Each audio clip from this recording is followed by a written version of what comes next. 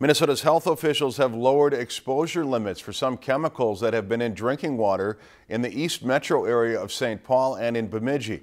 The chemicals are known as PFOA and PFOS and were used at a 3M manufacturing site and dumped at sites in Washington County.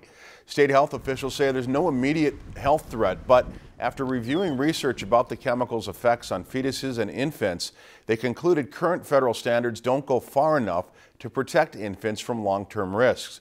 Department of Health officials say drinking water with the elevated levels does not pose an immediate health risk, but can build up in the body over time. State of Minnesota health officials have identified that Bemidji has a number of supply wells for its public drinking water systems affected by the updated values. The city of Bemidji says that the water is safe to drink for all residents. In a statement, city manager Nate Mathews said that the city has made adjustments to its well pumping system, deactivated two wells, and blended the water from three others to ensure the city's water supply meets those guidelines. The city says that it has hired an engineering consultant and will begin to work on a permanent solution to provide treatment of these chemicals in the city's water supply system. If you've enjoyed this segment of Lakeland News, please consider making a tax-deductible contribution to Lakeland Public Television.